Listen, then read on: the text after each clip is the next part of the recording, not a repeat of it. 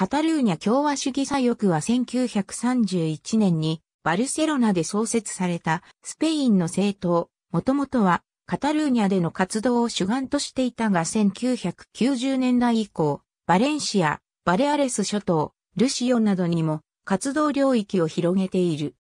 思想、心情は創設当時は連邦主義を掲げていたが、現在はカタルーニャ語地域を休合したカタルーニャ語圏の独立を掲げている。カタルーニャ左翼共和派と表記されることもある。アークは、フランセスク、マシアー、ルイス・クンパンチ、ジュゼップ・タラデーリャスなどの結出した政治家を要し、第二共和国期及び反フランコ闘争や民主化後期のカタルーニャの政治において重要な役回りを演じた。現在の活動家はおよそ1万人を数えている。自治州内の自治体レベル及びバルダランでは、高度ミューニセプル、オクシタン共和主義左翼として、バレンシア州内では、支部政党バレンシア共和主義左翼で活動を行っている。2006年2月18日に、バルセロナで行われた、ソンウナラジオデモでのアークの指導部アークは今日、左翼を標榜しているが、歴史的には、労働組合主義左翼諸政党の外れに、社会主義あるいは、マルクス主義系統の政党の位置にあった。平和的手段によるカタルーニャの独立を支持している。暴力を否定し、政治制度を通じての民主的手法による民族自決を目指している。テロリストグループテーラリウラの解散に力を貸し、そのグループの一部のメンバーをアーク内に取り込むことに成功した。アークの内部組織はカタルーニャ州内に9支部、州外に3支部を有する。カタルーニャ州内の支部組織、州外のカタルーニャ5県の支部組織、アークは、ジャウマ・アイグアデーによって、バルセロナのサンツ地区で1931年3月17日から20日にかけて開催されたカタルーニャ左翼会議において、ルイス・クンパンチのカタルーニャ共和党、フランセスク、マシアーのアスタート・カタラート・ジュアン・リーのルピニオグループの統合の結果設立された。マシアーの指揮のもと同年の自治体選挙に勝利し、イベリア連邦内でのカタルーニャ共和国を宣言した。スペイン第二共和国暫定政府は、結果的にカタルーニャ自治憲章として結実することになる、この実の動きに起因する政治危機に直面することとなった。1934年リュイス・クンパンチは、急進共和党イコールセダ政府に対する労働者蜂起のアストゥリアス10月革命へと向かう労働運動の緊迫した状況に乗じてスペイン連邦共和国内のカタルーニャ国を宣言した。このことは、共和国の合法性に疑問を呈し、また、政府の武力行使に挑戦するものであった。政府は、分離主義者たちの意図をくじくために戦争状態を宣言し、軍部の介入を命令した。軍パンチは逮捕され、投獄され、自治政府の企ては失敗に返した。この期間アークはアスカモッツという準軍事組織を有していた。1936年アスケーラは人民戦線に参加、2月の総選挙に勝利、クンパンチはカタルーニャ自治政府主犯に就任した。この第一期の間にアークは10万を超える活動家を得たが、カタルーニャでは無政府主義が支配的となっていた。1936年7月18日スペイン市民戦争へとつながる共和国に対する軍部の反乱が起こされ、アークはスペイン共和国政府とカタルーニャ自治政府に参加し続けながら人民軍と呼ばれた義勇軍と共闘した。1939年内戦は反乱軍側の勝利に終わり、政党は禁止され、政治的自由は奪われた。カタルーニャでは自治政府機関は廃止され、公的機関でのカタルーニャ語の使用は禁止された。アークとその党員に対する第二共和国時代、内戦時代の活動について厳しい追及が行われた。アークの HP によると、党員7万のうち半数が亡命を余儀なくされ、4分の1が投獄され、あるいは処刑されたとされている。アークは、非合法化され、一部の党指導者たちは、ルイス・クンパンチ率いるカタルーニャ亡命自治政府が設立されたフランスへと亡命し、またある者はカタルーニャへ残り、マヌエル・ジュリアックス、ジャウマセラを中心に抵抗組織の設立を目指した。1940年ナチスドイツがフランスを打ち負かし、占領、スペイン政府の要請で、ルイス・クンパンチがゲシュタポに逮捕された。クンパンチはスペイン側に引き渡され、1940年10月15日、バルセロナのムンジュイック城で銃殺刑に処された。1943年フランス亡命中のアーク、党員がシャルル・ド・ゴール将軍側の代表と協定を締結、民主主義とフランス共和国を取り戻すためのファシズムとの戦いを行うためにフランスのレジスタンス活動に加わることとなった。1945年、第二次世界大戦が終結し、連合国軍へのスペイン侵攻によって、フランコ体制の崩壊の可能性を想定した亡命、アークの党執行部は、ペラプッチ・スビニャーとジュアン・ロドリゲス・パパセートの二人のリーダーをカタルーニャに送った。そして、フランスが解放され、トゥールーズにおいて、ジュゼップ・イルラ党代表の下党大会が開催され、ジュゼップ・タラデーリアスが新書記長に選出された。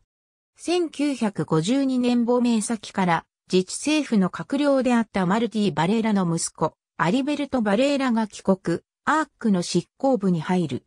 1950年代アークは、カタルーニャ民主主義評議会並びに、民主主義勢力評議会に加盟。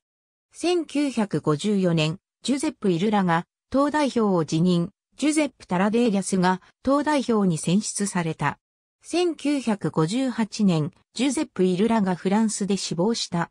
1959年、ジュゼップ・タラデーリアスが亡命カタルーニャ自治政府首班に選出された。1964年の9月11日、アークは他の非合法化されたグループと共にバルセロナで内戦終結後初めて反フランコ体制デモを組織した。1960年代を通じてアークはヨーロッパ運動カタルーニャ評議会、カタルーニャ社会民主主義事務局、カタルーニャ政治勢力調整委員会に次々と加盟した。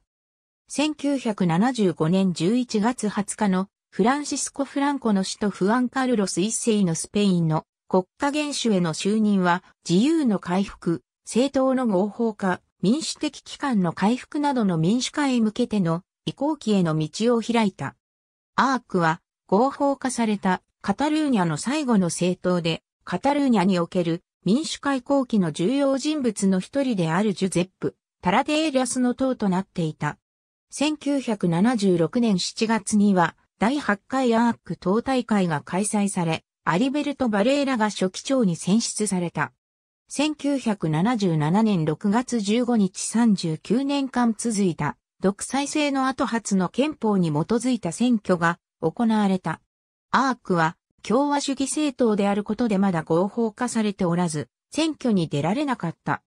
党指導部は同様に未だ非合法状態に置かれていたスペイン、労働党によって率いられていた左翼民主戦線と提携し、カタルーニャ左翼イコール民主主義選挙戦線という名称で選挙に参加。候補者名簿筆頭には、アークの初期長、アリベルト・バレーラの名が記されていた。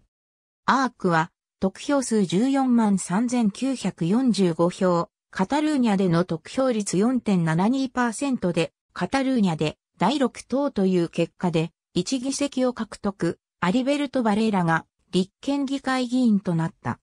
1977年9月29日スペイン政府、首相、アドルフォス・アレスは、法令によって、カタルーニャ自治政府を再設置、フランコ体制下の合法性の改革に由来しない、初めての機関となった。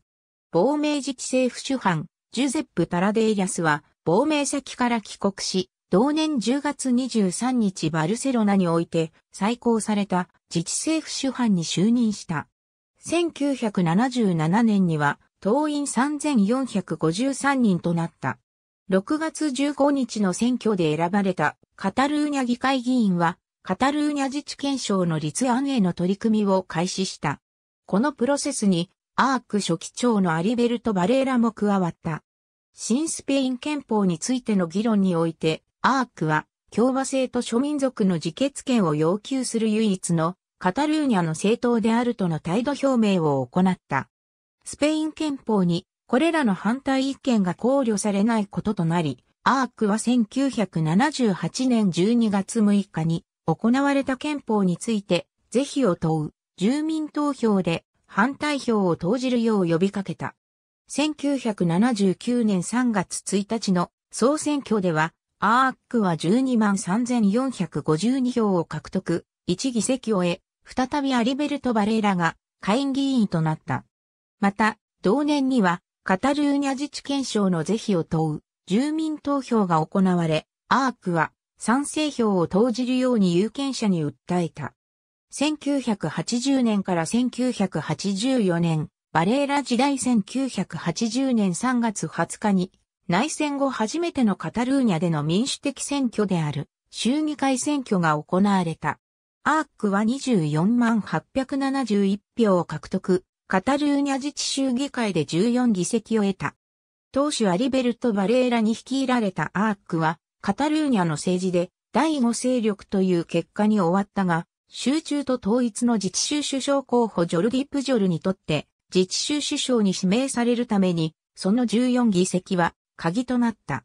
アークの支持を得、プジョールは州首相に就任したが、アークは州政府に加わらず、茶単独で政権を担った。1982年10月28日の総選挙では、獲得票数は13万8118で、国会で再び議席を確保することはできなかった。1984年の衆議選は、アークには厳しい結果となることが予想された。衆議会で第五党の位置は維持したものの、カタルーニャ民族主義を旗印として打ち立てた茶に票が流れ、大きく票を減らした。アリベルト・バレーラ率いるアークは14議席から5議席へと後退し、絶対多数を確保した茶に対して政治的力を大きく喪失した。1984年から1989年、ジュアン・ウルタラー時代と危機的状況の継続等は危機的状況にあり、その中で新しい党首にジュアン・ウルタラーが選ばれた。1986年3月12日の NATO 残留の是非を問う住民投票では、アークは NATO 脱退への支持を表明するも残留支持票多数という結果に終わった。1986年6月22日の総選挙では、80年の総選挙で獲得したただ、一つの国会議席を82年に喪失していた、アークにとって一段と厳しい結果となることが予想され、得票84,628、カタルーニャでの得票率2.67%という惨憺たる結果であった。この当時の党員数は1676人で、党の危機的状況をやはり反映していた。1987年の欧州議会選挙で、アークはバスクとガリシアの民族主義政党、エウスコ・アルカルタスナとガリシア民族主義党と共に、諸民族のヨーロッパのための同盟を結成。この選挙協力はわずかながらもカタルーニャ内での支持を拡大する結果となった。選挙連合は1議席を欧州議会に獲得したが、候補者リスト第2位であったアークの議員誕生とはならなかった。1988年の衆議選では、ウルタラーをリスト筆頭に掲げたものの、得票数11万1647で、前回の国政選挙は上回ったものの、前回84年の衆議選、前年の欧州議会選を下回り、党の危機的状況がなお継続していることを確認する結果に終わった。カタルーニャの有権者のうち4%の支持であったが、選挙の計算方法によって議席数は前回より1上回り、州議会第5党の勢力を維持することに成功した。ジュアン・ウルタラーが率いたアークは1989年の総選挙においても、結果は86年の時とほぼ同様で、州内の得票率2.6%、得票数84,756で、84年の衆議選で失った議席を補うものとはならなかった。この年の欧州議会選挙では再び EA と BNG と選挙連合諸民族のヨーロッパのためを結成したものの危機的状況は深まるばかりであった。カタルーニャでのこの前回を下回った結果にもかかわらず、選挙連合は1議席を獲得し、1991年の選挙協定によってリスト1位に名のあったカルロス・ガライコエチアとリスト2位のアリベルト・バレーラが交代して議席についた。1989年から1996年、アンジャル・クロムによる党の転換1989年11月にリエイダで開催された第16回アーク党大会でジュアン・ウルタラーに代わってリスト筆頭候補者に名が乗ったこともあるジュゼップ・ルイス・カロット・ルビーラを通り越して新書記長に選出されたアンジャル・クロムに代表される若い世代のリーダーたちによって党再生が開始された。この党大会でカタルーニャ語圏の独立が党の政治目標として承認され、カタルーニャ州外の党員の獲得が始められることとなり、その後バレアレス諸島とバレンシア州において、アークの支部組織が設立されることとなった。アンジャル・クロムは分立する多数の小政党に属する、あるいはより急進的な考えを持つなどの多くのカタルーニャ独立主義の若者をアスケーラに結びつけるためのプロセスを開始した。90年代の最初の数年間、アークはテロリスト集団テーラ・リュラのメンバーを取り込むことを通じて、暴力主義を放棄させ、同組織の解散に尽力した。これらの変革は1992年の衆議選で実を結び、統制の回復につながった。リーダーのアンジャル・クロムとジャーナリストのピラール・ラオーラ、そして初めて選挙に参加した多くの若者たちの支持によって、アークは21万366票、8%の得票率を得て、11議席を獲得し、カタルーニャのためのイニシアティブや国民党を4議席上回り、第3党の位置を占めるに至った。1993年6月6日に行われた総選挙において、アークは18万9632票を得、会員に初めて1議席を獲得、ピラール・ラオーラが議席についた。同年12月第19回党大会が開催、現在も有効である党の思想、イデオロギー声明が可決された。翌94年、EA といくつかの小政党と欧州議会選挙において、再び諸民族のヨーロッパのためという名称で、選挙連合を結成することで合意に至った。結果は、カタルーニャでは、今までで最高の成績を残したが、全スペインで23万9339票、議席確保とはいかなかった。翌95年の衆議選では、過去最高の結果であった。獲得票数30万5867で、議席は11から13へ増やしたが、国民党が17議席を得て、州議会第3党の座を明け渡した。この年の党員数は6467人を数えた。1996年アークは、アンジャル・クロムとピラール・ラオーラの二人のリーダーが党を離脱、独立派の票をアークと奪い合うことになる、独立のための党を決闘するという、党組織を揺るがす危機に見舞われた。この党分裂は、アークの党員数減少をもたらし、同年末の党員数は4000人となった。1996年、カロット・ルビーラによる新時代1996年11月第21回党大会が開催、新党首にジュゼップ・リュイス・カロット・ルビーラ、初期長にジュアン・プチャルコスという新執行部が選出された。新執行部は軌道修正を発表したカタルーニャの独立については放棄しなかったものの、それを唯一のものとする考えを改めた。また、カタルーニャの左翼の中に党を位置づけることを望んだ。1996年3月3日に行われた総選挙では、アークは16万7641票を獲得、下院議席を維持し続けることに成功した。1999年の衆議選では、ジュゼップ・ルイス・カロット・ルビーら当時のもと、アークは前回の衆議選にわずかに及ばない結果で、得票を27万1173票で1議席を減らし、州議会議員135議席中12議席であった。また、クロムとラオーラの独立のための党は1議席も得られず、回答となり、アークはカタルーニャ独立の選択について主導権を握る政党としての地位を保持した。2000年3月12日の総選挙では、得票19万4715、ジュアン・プチャルコスの1議席を守った。2002年12月31日時点の党員数は5503人を数えた。2003年春に行われた自治体選挙では、アークは大躍進を遂げ、カタルーニャ全土で41万4000もの票を獲得、1383の自治体議員、116の自治体首長を得た。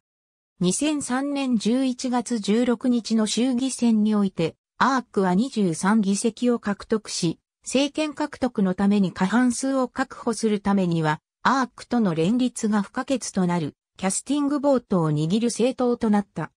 数週間の後、茶との連立がなるように思えたが、最終的にカタルーニャ社会主義者党とカタルーニャ緑のためのイニシアティブイコールカタルーニャ統一左翼との間で進歩主義協定を結ぶこととなった。アークは PSC のパスクアル・マラガイ主犯の3党、連立政権に加わり、党代表ジュゼップ・リュイス・カロット・ルビーラが筆頭閣僚に就任するなど自治政府閣僚6、ポストを得た。アークはその他に、教育、福祉、家族、商業、観光、消費、統括、公共行政、大学、研究、情報社会の5ポストを得た。また、アルネスト・バナックが自治州議会議長に選出された。新政権が発足後まず取り組んだ課題は、新しい自治権勝立案のための手続きを開始することであった。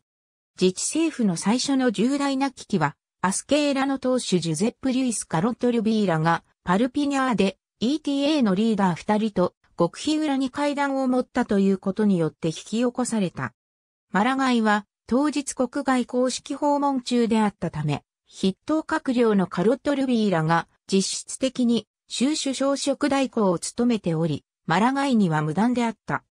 日刊紙 ABC はスペイン国家のシークレットサービスからの情報を報道、メディア、社会全体に一大論争を巻き起こし、カロット・ルビーラを州政府閣僚から罷免することによって、この一大政治危機の幕引きをすることとなった。ジュゼップ・バルガ領がカロットに代わって筆頭閣僚につき、アークは政権内に泊まり続けた。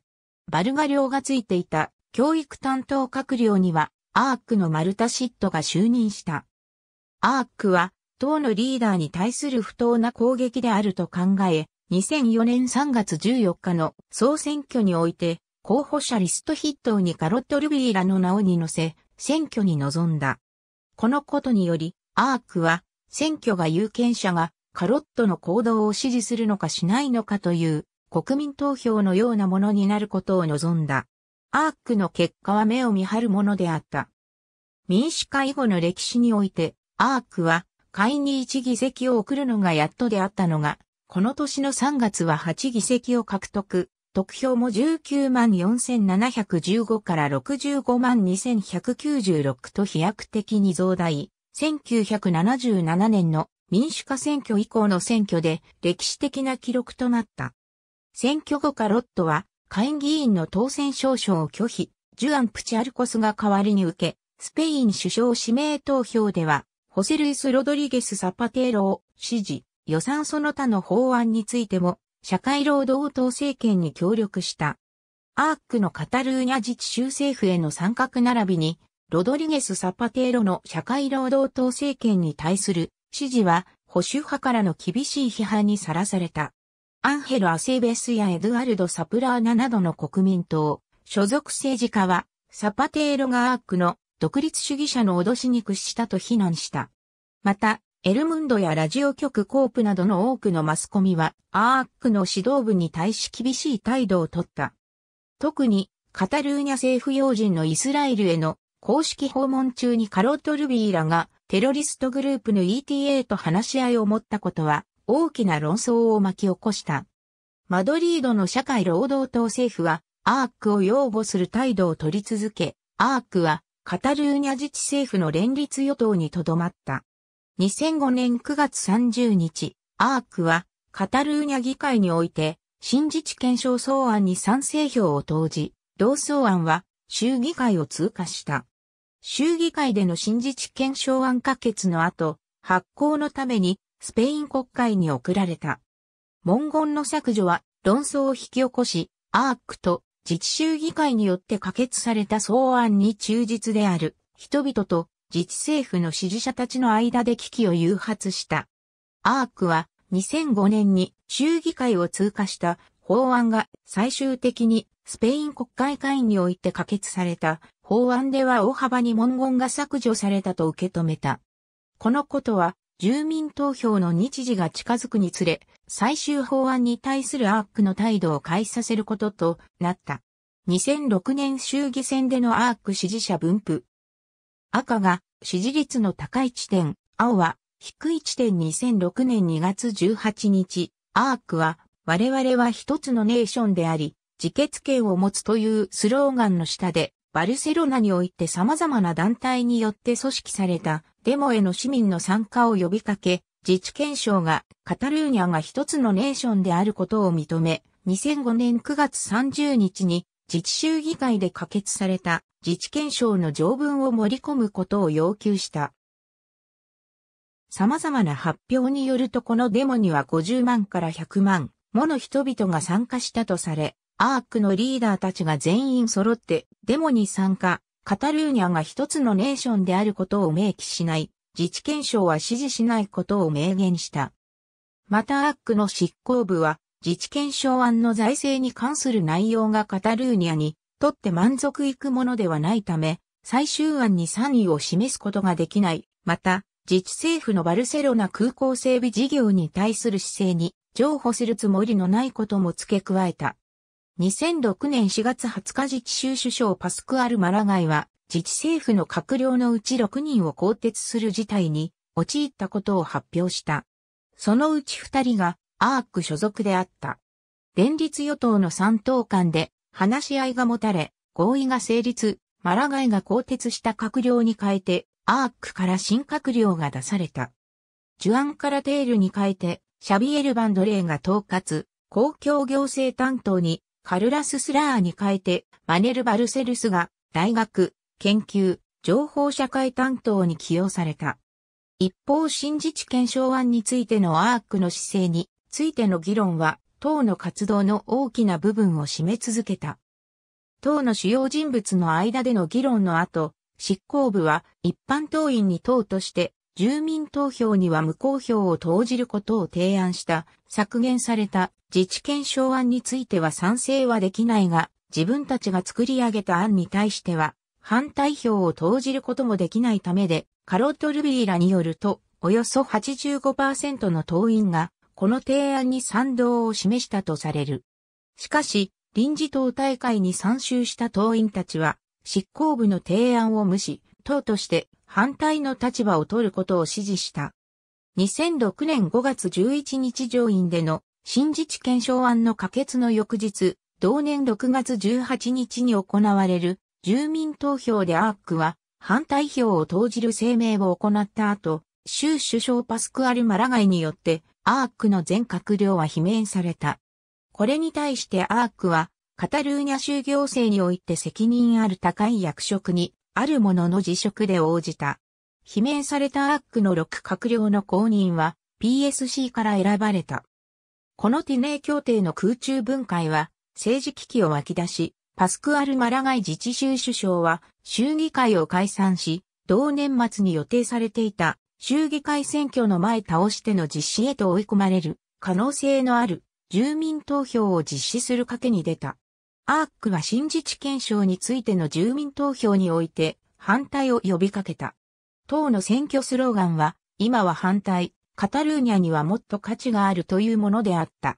2006年6月18日住民投票が行われ、賛成票73.90%で可決された。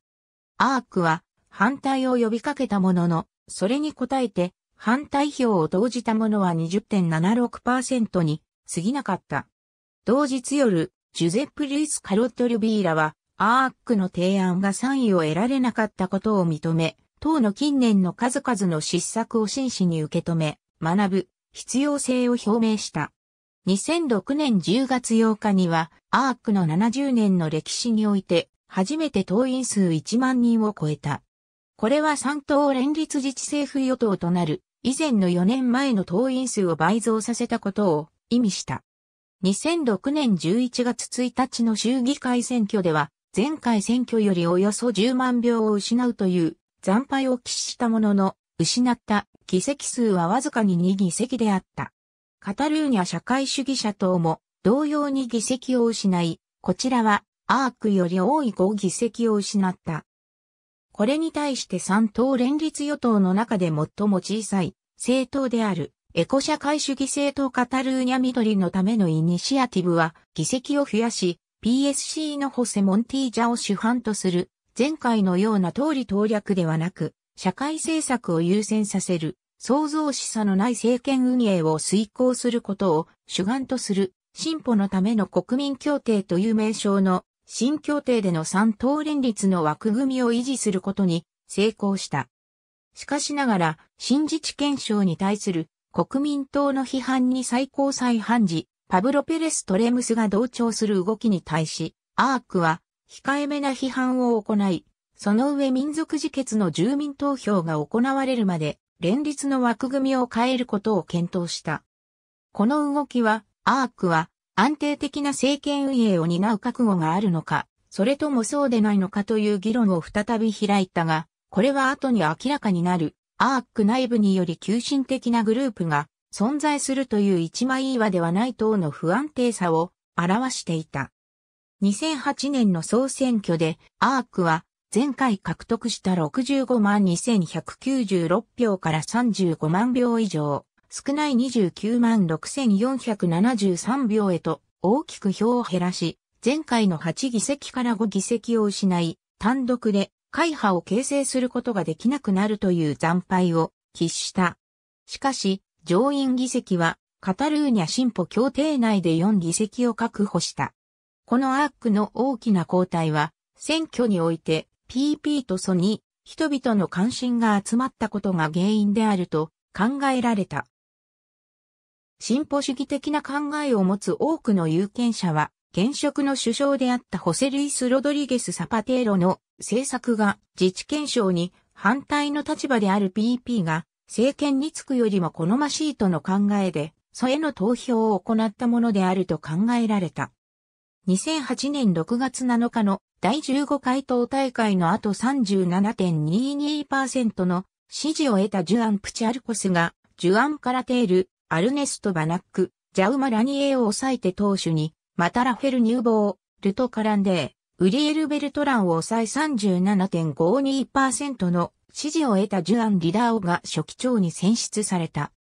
2007年から存在するアークの内部グループであるレイングルーポメントが2009年4月に自治政府の元閣僚で前回の党大会で党代表職を争ったジュアン・カラテールトルト・カランデーによって2010年の衆議選のため唯一の目的であるカタルーニャ独立を目指す候補を擁立する目的で党を終わった。2010年の衆議選においてアークが獲得した票は前回2006年のほぼ半数の21万8046票で前回より11議席少ない10議席にとどまった。アーク、PSC、アイクフの与党3党の敗北により、新たに3党によって多数を形成し、茶と共に自治政権を担うということが不可能となった。衆議選前の2010年7月には、下院議員、ウリエル・ベルトランが、ジュアン・ラポルタとアルフォンス・ロペステナと共に、独立のためのカタルーニャ連帯を設立するために、アークを、離党、同党は10万2921票の支持を得て、4議席を獲得した。またレイグループメントはわずか39,834票に終わった。2011年の自治体選挙においてもアークの体調傾向は続き、得票は27万1349票であった。バルセロナでは、レイングループメント、カタルーニャ民主主義と選挙連合バルセロナのための連合を結成して臨み、一議席減でとどまった。選挙後の5月23日、惨敗に終わった選挙結果を受けて、ジュアン・プチャルコスとその執行部は辞任した。また、同年6月3日には、元党首、ジュゼップ・ルイス・カロット・ルビーラは、党を離れたことを発表した。2011年9月17日2011年の総選挙に向けての党の候補者を選出するための第一次選考会が開かれ、アルフレード・ボッシュが65.81%の支持票を得て、対立候補ジュアン・リダーを下し、選ばれた。また、対立候補がいなかったことにより、ウリオール・ジュンケラスは92.07%、マルタルビーラは89.79%の支持で、それぞれ党代表、初期長として承認された。この大会で、ウリオール・ジュンケラスは、レイグルーポメントとカタルーニャ連帯に共闘を申し出、レイグルーポメントはその申し出を受け入れたが、カタルーニャ連帯には断られた。最終的に、アーク、レイグルーポメント、カタルーニャ氏との間で、選挙連合を結成、カタルーニャで7.06%の支持を得、3議席を獲得した。ありがとうございます。